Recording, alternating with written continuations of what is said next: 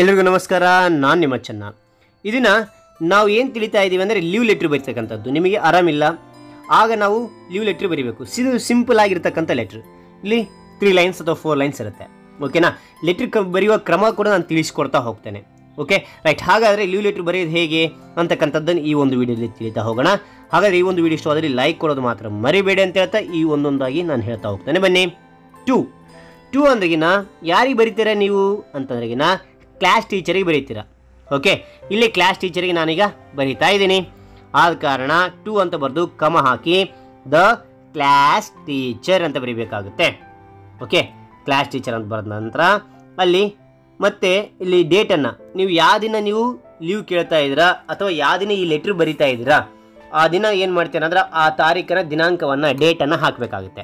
Okay ಅದ್ರ ಕೆಳಗಡೆ ನೀವು ಯಾವ ಒಂದು ಸ್ಥಳದಿಂದ ಬರಿತಾ ಇದ್ದೀರಾ? ಅಲ್ಲಿ ಆ ಒಂದು ಸ್ಥಳವನ್ನು ಬರಿಬೇಕಾಗುತ್ತೆ. ನಾನು ಇಲ್ಲಿ zero one zero five twenty twenty one date Ballari ಅಂತ ನಾನು ಬರೆದೇನೆ ಓಕೆನಾ ಇಲ್ಲಿ ನಂತರ ಕಂಟಿನ್ಯೂ ಆಗಿ ಬರೀಬೇಕು. ದ ಕ್ಲಾಸ್ ಟೀಚರ್ ನೀವು ಎಷ್ಟನೇ ಕ್ಲಾಸು ಅಂದ್ರಿಗಿನ ಫೋರ್ತ್ ಕ್ಲಾಸ್ ಯಾರು ಎಷ್ಟನೇ ತರಗತಿ ಕ್ಲಾಸ್ ಟೀಚರ್ ಅದು ಫೋರ್ತ್ ಕ್ಲಾಸ್ ಕ್ಲಾಸ್ ಟೀಚರ್ ನಮ್ಮ ಕ್ಲಾಸ್ ಟೀಚರ್ ಓಕೆನಾ ಎಲ್ಲಿ ಅಂದ್ರಿಗಿನ ಯಾವ ಒಂದು school ಅಂದ್ರಿಗಿನ government primary school G O V T ಅಂದ್ರಿಗಿನ ಇಲ್ಲಿ short form of government okay ಗೌರ್ಮೆಂಟ್ಗೆ ಇದು short form government primary school S C H O L school Ballari.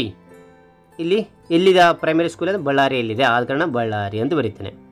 Okay ಇಲ್ಲಿ ನಾವು ಟು ಕ್ಲಾಸ್ ಟೀಚರ್ ಅಂತ ಅಲ್ಲಿ ಕಮ ಹಾಕಬೇಕು. ಇನ್ನು ಫೋರ್ತ್ ಕ್ಲಾಸ್ ಆದಮೇಲೆ ಕಮ ಹಾಕಬೇಕು. ಗೌರ್ಮೆಂಟ್ ಪ್ರೈಮರಿ ಸ್ಕೂಲ್ ಆದ ತಕ್ಷಣ ಕಮ ಹಾಕ್ಬೇಕು. ಬಳ್ಳಾರಿ ಆದ ತಕ್ಷಣ ಫುಲ್ ಸ್ಟಾಪ್ ಹಾಕಬೇಕು. ಯಾಕಂದ್ರೆ ಇನ್ನು ಅಲ್ಲಿಗೆ ಮ್ಯಾಟ್ರ್ ಅದು. ಓಕೆ ರೈಟ್ ಅದಾದ ನಂತರ, ಇಲ್ಲಿ ಏನು ಬರೀತೀರಾ ಅಂದ್ರಿಗಿನ ರೆಸ್ಪೆಕ್ಟೆಡ್ ಸರ್ ಇಲ್ಲಿ ಕನ್ನಡದಲ್ಲಿ ನಾವು ಹೇಳ್ತೇವೆ, ಗೌರವಾನ್ವಿತ ಶಿಕ್ಷಕರೇ ಅಂತ ನಾವು ಹೇಳ್ತೇವೆ. ಇಲ್ಲಿ ಇಂಗ್ಲೀಷ್ನಲ್ಲಿ ನಾವು ರೆಸ್ಪೆಕ್ಟೆಡ್ ಸರ್ ಅಲ್ಲಿ ಮೇಡಮ್ ಆಗಿದ್ದರೆ ಮೇಡಮ್ ಅಂತ ಬರೀರಿ ಸರ್ ಆಗಿದ್ರೆ ಸರ್ ಬರೀರಿ. ನಾ ಇಲ್ಲಿ ಸರ್ ಕಾರಣ ಸರ್ ಅಂತ ಇಲ್ಲಿ ಓಕೆ ರೈಟ್ ಅದಾದ ನಂತರ ನಾವೇನು ಬರೀಬೇಕಂದ್ರಿಗಿನ ಇಲ್ಲಿ ಕರೆಕ್ಟ್ ಅದ್ರ ಕೆಳಗಡೆನೆ. ಸರ್ ಅಂತ ಇದೆಯಲ್ಲ ಅಲ್ಲಿ ಕೆಳಗಡೆ ನಾವೇನು ಬರೆಯೋಕು as I am okay as I am suffering S U F F E R I N G suffering from suffering from ಯಾವುದಕ್ಕೋಸ್ಕರ ನೀವು ಕೇಳ್ತಾ ಇದ್ದೀರಾ? ನಿನಗೇನಿದೆ? ಹೆಡ್ಡೇಕ್ ಇದೆಯಾ? ಕೋಲ್ಡ್ ಇದೆಯಾ? ಫೀವರ್ ಇದೆಯಾ? ನೀವು ಅಲ್ಲಿ ಮೆನ್ಷನ್ ಮಾಡಬೇಕಾಗುತ್ತೆ. ನನಗೆ ಹೆಡ್ಡೇಕ್ ಇದೆ. ಇಲ್ಲ ಸ್ಟಮಕ್ ಏಕ್ ಇದ್ದರೆ ಸ್ಟಮಕ್ ಏಕ್ ಅಂತ ಬರೆಯೋಕ್ಕಾಗುತ್ತೆ ಹೆಡ್ಡೇಕ್ ಆದರೆ ತಲೆನೋವಿದೆ ಆ ಕಾರಣ ಇಲ್ಲಿ ಹೆಡ್ಡೇಕ್ ಆದ ಕಾರಣ ಹೆಡ್ ಕೆ ಹೆಡ್ಡೇಕ್ ಅಂತ ನಾನು ಇಲ್ಲಿ ಬರ್ತೀನಿ as I am suffering from headache okay I am I am unable, unable to attend ನನಗೆ ಹೆಡ್ಡೇಕ್ ಇದೆ ಆದ ಕಾರಣ ನನಗೆ unable to attend school okay ನನಗೆ ಆದ ಕಾರಣ ನನಗೆ ಅಟೆಂಡ್ ಮಾಡಲಿಕ್ಕೆ ಆಗ್ತಾ ಇಲ್ಲ ಶಾಲೆ ಬರಲಿಕ್ಕೆ ಆಗ್ತಾ ಇಲ್ಲ ಅಂತೇಳಿ ಅರ್ಥ ಅದಕ್ಕೆ. I am unable to attend school so I ಓಕೆನಾ ಐ ರಿಕ್ವೆಸ್ಟ್ ನಿಮ್ಮಲ್ಲಿ ಕೋರ್ತಿದ್ದೇನೆ.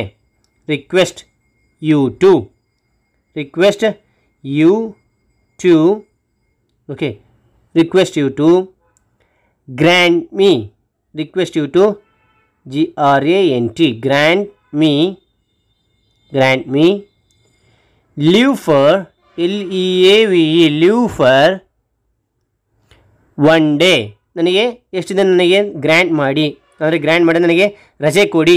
ಎಷ್ಟು ದಿನಗಳ ಕಾಲ? ಒನ್ ಡೇ ಒನ್ ಡೇ ಅಂದರೆ ಒಂದು ದಿನ ನನಗೆ ರಜೆ ಕೊಡಿ. ಐ ಇ ಅಂತ ಬರೀತೇವೆ. ಇದಂದ್ರೆ ಏನು ದಟ್ಸ್ ದಟ್ ಈಸ್ ಅಂತೇಳಿ ಇದಕ್ಕೆ ಅರ್ಥ ಆಗುತ್ತೆ. ಓಕೆನಾ ಇಲ್ಲಿಂದ ಅಂದ್ರೆಗಿನ ಒಂದನೇ ತಾರೀಕು, ಐದನೇ ತಿಂಗಳು, ಎರಡು ಸಾವಿರದ ಇಪ್ಪತ್ತೊಂದು. ಓಕೆನಾ ಈ ನನಗೆ ರಜೆ ಬೇಕು. ಧನ್ಯವಾದಗಳೊಂದಿಗೆ ಅಂತ ಕನ್ನಡದಲ್ಲಿ ಅಂತೀವಿ. ಅದೇ ಇಂಗ್ಲೀಷ್ನಲ್ಲಿ ನಾವು ಥ್ಯಾಂಕಿಂಗ್ ಯು ಅಂತ ಕರಿತೇವೆ.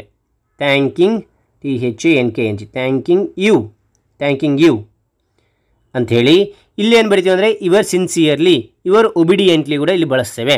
ನಾನಿಲ್ಲಿ ಇವರ್ ಸಿನ್ಸಿಯರ್ಲಿ ಅಂತ ನಾನು ಇಲ್ಲಿ ಬರ್ತೇನೆ yours sincerely sincerely okay R E L Y sincerely ಇಲ್ಲಿ ನಿಮ್ಮ ಹೆಸರು ಬರೀಬೇಕಾಗುತ್ತೆ. ಓಕೆನಾ ನನ್ನ ಹೆಸರು ಎನ್ ಎಂ ಚೆನ್ನ. ಆದ ಕಾರಣ ಇಲ್ಲಿ ಎನ್ ಎಂ ಚೆನ್ನ ಅಂತೇಳಿ ನಾನು ಇಲ್ಲಿ ಬರೆದಿದ್ದೇನೆ. ಓಕೆ ರೈಟ್ ಅದೇ ರೀತಿಯಾಗಿ ಎಷ್ಟನೇ ಕ್ಲಾಸ್ ನೀನು ಅಂದ್ರಿಗಿನ? Fourth fourth class. ಸೌತ್ ಕನ್ನಡದಲ್ಲಿ ಫೋರ್ತ್ ಕ್ಲಾಸ್ ಅಂತ ನಾನು ಮೆನ್ಷನ್ ಮಾಡಿದ್ದೀನಿ. ಓಕೆನಾ ಮಕ್ಕಳೇ ಈ ರೀತಿಯಾಗಿ ನೀವು ಕೂಡ ಲೆಟ್ರ್ ಬರೀರಿ ಅಂತ ಹೇಳ್ತಾ, ಇದರಲ್ಲಿ ಏನಾದ್ರು ಡೌಟ್ ಇದೆಯಾ? ಡೌಟ್ ಇದ್ದಲ್ಲಿ ಕಾಣಿಸ್ಲಿ ಕಾಣಿ ಖಂಡಿತ ನನಗೆ ಉತ್ತರ ತಿಳಿಸ್ಕೊಡ್ತೇನೆ ಅಂತ ಹೇಳ್ತಾ ಹಾಗೆ ಈ ವಿಡಿಯೋ ಶೋದಲ್ಲಿ ಲೈಕ್ ಮಾಡೋದು ಮಾತ್ರ ಮರಿಬೇಡಿ ಅಂತ ಹೇಳ್ತಾ, ಈ ವಿಡಿಯೋ ಮುಗಿಸ್ತಾ thank you thank for watching bye